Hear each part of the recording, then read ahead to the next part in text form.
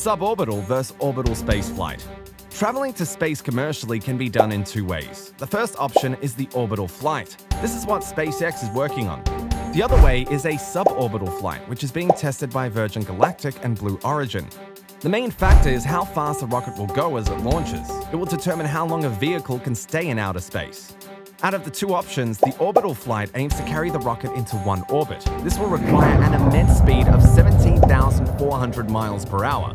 The main issue of this method is how to keep the spacecraft intact as it exits the Earth's atmosphere. Suborbital flights travel at a slower speed of 3,700 miles per hour. However, this level is not enough to meet the required orbital velocity. Once the rocket reaches a specific height in space, it will turn off its engine. From there, it will start to descend back to Earth.